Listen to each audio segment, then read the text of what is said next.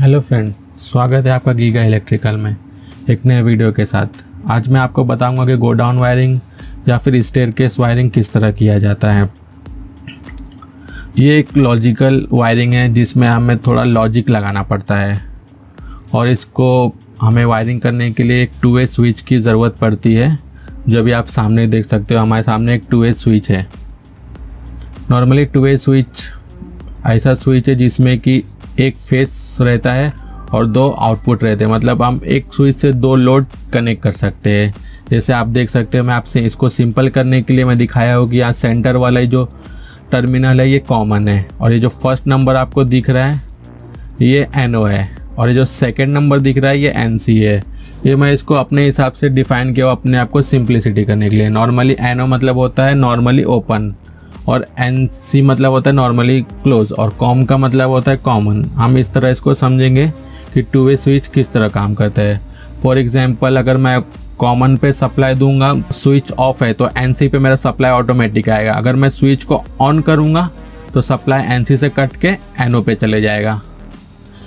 इस तरह अगर समझ लो, अगर हमने लोड यहाँ पे लगाए है, एक वन नंबर या फिर एन ओ पे एक लोड लगाया है लैम्प और सेकेंड हम यहाँ पे टू नंबर यानी एन सी पे एक लैंप लगाए हैं। तो उस कंडीशन में अगर स्विच ऑफ़ है तो हमारा एन सी टू नंबर वाला लैंप कंटिन्यू ग्लो होता रहेगा। अगर हम स्विच को ऑन करते हैं तो हमारा टू नंबर का लैम्प बंद हो जाएगा और वन नंबर का लैम्प चालू हो जाएगा। तो इस तरह हमारा टू वे स्विच काम करता है। तो हमें ये गोडाउन वायरिंग या फिर स्टेयर वायरिंग में टू वे स्विच की ज़रूरत पड़ने वाली है, इसलिए मैंने आपको पहले एक्सप्लेन कर दिया कि टू वे स्विच की वायरिंग किस तरह की जाती है। अभी मैं इसका डायग्राम पे आ जाता हूँ। गोडाउन वायरिंग का डायग्राम एक्चुअल में होता कैसा है, ये आपको दिखा देता हूँ। जैसे आप यहाँ पे देख सकते हो स्क्रीन पे, ये गोडाउन वायरिंग डायग्राम है। रेड लाइन है, ये हमारा फेस वायर है, जो कि हमारा फेस है। और ये वाइट वाला हमारा न्यूट्रल लाइन है। जैसे आप ये देख रहे हो, ये green switch one switch two switch three और ये स्विच फोर ये हमारा टू वे स्विच है, जो ऑलरेडी मैं आपको स्टार्टिंग में एक्सप्लेन कर दिया हूँ। इसमें भी जैसे आपको बोला ना इजी के लिए इसमें common N O N C use किया हो। वही सेम टर्मिनल आप यहाँ पे देख सकते हो। ये कॉमन है, ये एन ओ है, ये एन सी है।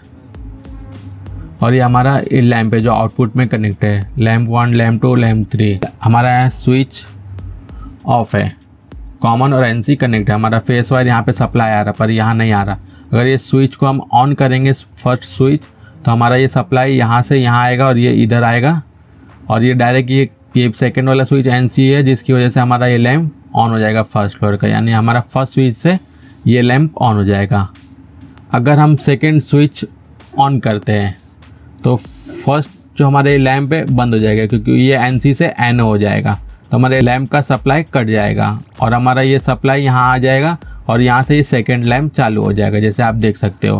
तो हमारा फ़र्स्ट लैम्प बंद होगा सेकेंड चालू होगा। उसी तरह अगर हम ये स्विच को ऑन करते हो तो ये हमारा थर्ड लैम्प चालू हो जाएगा। एनसी होने के लिए सप्लाई इधर आएगा, यहाँ से इधर आके थर्ड लैम्प चालू हो जाएगा। और अगर आप सीरीज़ में और आगे लगाते जाएँगे तो इसमें इन्फानाइट आप कितना भी स्विच ऐड कर सकते हो, लैम्प ऐड कर सकते हो। ये सीरीज़ में आगे कंटिन्यू होता जाएगा। तो ये था हमारा गोडाउन वायरिंग का एक्सप्लेनेशन जैसा हमने डायग्राम में देखे प्रैक्टिकली वायरिंग करके रखे हैं। अभी मैं आपको बता सकता हूँ, बस ये एक नया आपको चीज़ देखता रहेगा, ये एक्स्ट्रा है। ये एमसीबी है जो हमारा प्रोटेक्शन आप कभी भी कोई सर्किट यूज़ करो तो हमेशा उसमें एक एम लगाए, जिससे आपकी सर्किट प्रोटेक्ट हो जाती है। जैसे आप देख सकते हो, ये फ़र्स्ट स्विच है हमारा, ये सेकेंड स्विच है, ये थर्ड स्विच है, ये फोर्थ स्विच है। ये हमारा फ़र्स्ट लैम्प है, ये सेकेंड लैम्प है, ये थर्ड लैम्प है। तभी हमारा सिस्टम ये ऑन करता हूँ, जैसे कि मैंने सप्लाई ऑन किया। मेन एम सी भी ऑन कर दिया, अभी मैं फ़र्स्ट लाइट अपना ऑन करता हूँ। देखिए फ़र्स्ट फ़र्स्ट लैम्प अब मैं सेकेंड ऑन करता हूँ। सेकेंड ऑन करता हूँ ऑटोमेटिक फ़र्स्ट ऑफ़ हो गया सेकेंड ऑन हो गया। अभी मैं थर्ड ऑन करता हूँ। सेकेंड ऑफ़ हो गया, थर्ड ऑन हो गया।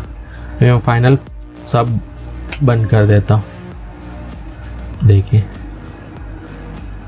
अभी रिवर्स जाएँगे हम।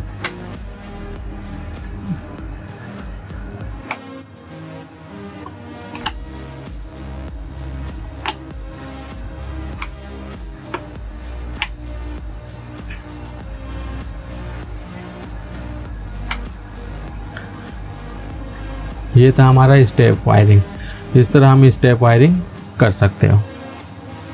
अगर आपको ये वीडियो अच्छा लगा तो प्लीज़ सब्सक्राइब करें लाइक करें। अगर कुछ डाउट रहा या फिर कुछ मिस करता रहूँगा तो प्लीज़ कमेंट करके बता सकते हो।